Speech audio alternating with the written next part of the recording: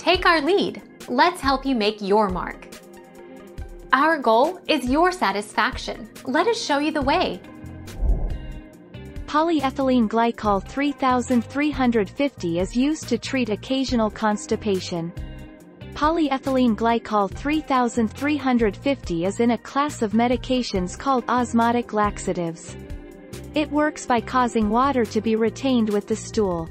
This increases the number of bowel movements and softens the stool so it is easier to pass.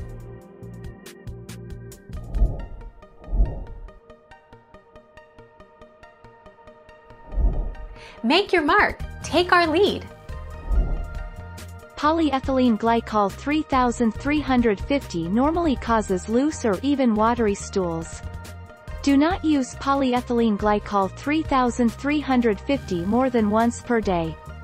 Call your doctor if you are still constipated or irregular after using this medication for 7 days in a row.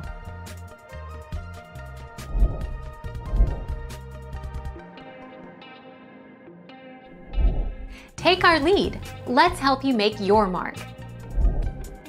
Recent studies 6, 7 in adults have reported short-term efficacy of PEG without any major clinical adverse effects.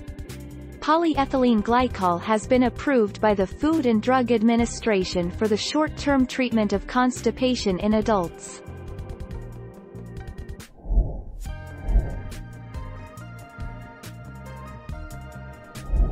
Take our lead. Let's help you make your mark.